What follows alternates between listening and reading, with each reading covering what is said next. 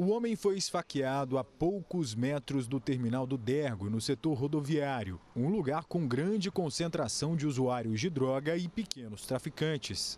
Segundo a polícia, o homem é um usuário de drogas conhecido aqui na região. Ele estaria fumando crack com alguns amigos na porta da loja quando um outro homem passou por eles e mexeu com o grupo. Um senhor, aparentemente por volta de 50 anos, a idade aproximada, e teria é, agredido verbalmente.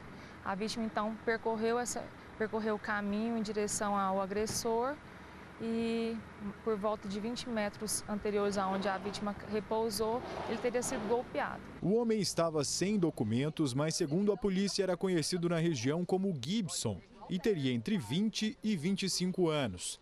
Ele levou apenas uma facada na altura do peito. A polícia já tem as características do autor do crime e acredita que ele também pode ser usuário de drogas, já que caminhava sozinho por ali em alta madrugada.